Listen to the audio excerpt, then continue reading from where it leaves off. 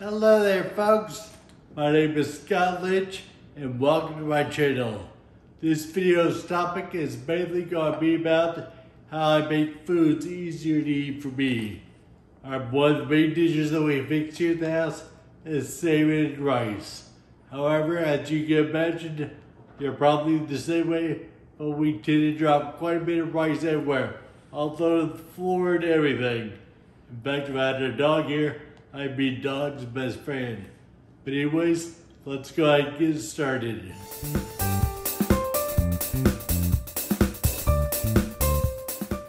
These are the foods that we will be using. We start off with simple tortilla shell. Then after that we go to our rice and fish that we actually prepared last night, so you don't have to watch us fix that. Next thing we've got is the actual tortilla shell. We go ahead put it on a piece of tinfoil here, and we have some cheese on there, and that will help to hold the rice and the salmon together. Last but not least, we'll do, we're going to um, fried egg, or not fried egg, but scrambled egg. And that will also have hold everything together so it doesn't make a huge mess.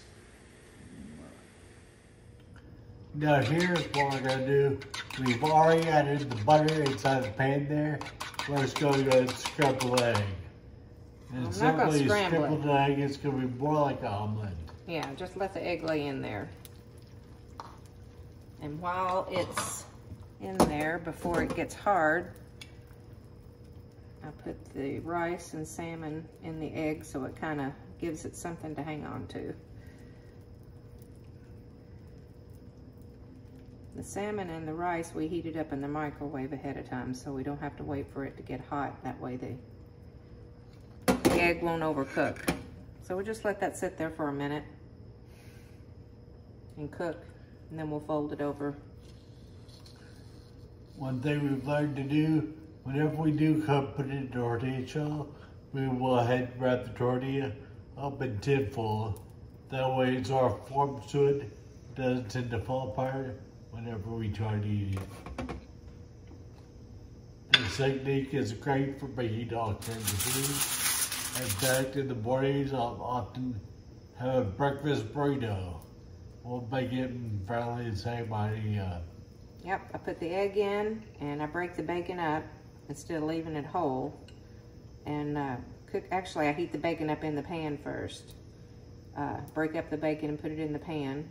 And then put the egg in there and the same thing with cheese. The cheese also helps hold the food together inside the tortilla shell. Plus you kind of like cheese. So. I like cheese white but I really love the spicy kind.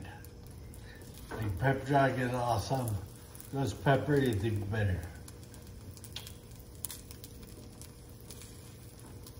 I've been using cast iron skillets for a long time. They don't stick as bad as regular pans and I don't think there's much you can do to them to mess them up. So anyway, I just kind of help push that together to help hold the rice in there so it doesn't fall out everywhere. And it's on about medium to medium low heat. And that's about as brown as I want that egg to get. I don't like them even to get that brown. And because cast iron holds the heat, I turn it off before I'm completely finished so it doesn't get too hot.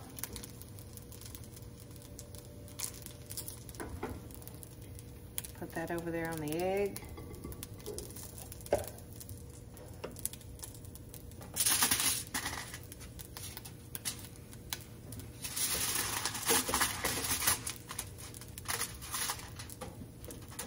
Roll that up in there. And if you roll it up in the tin foil, that gives the tortilla shell time to kind of stick together.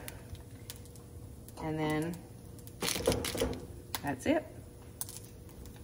If anybody out there has any other ideas about how to fix foods that are a little bit easier or has an idea for different recipes, please let me know in the comments below. If you have any other questions, of course, leave us a comment and we'll try to get back to you as soon as we can. Thank you for watching.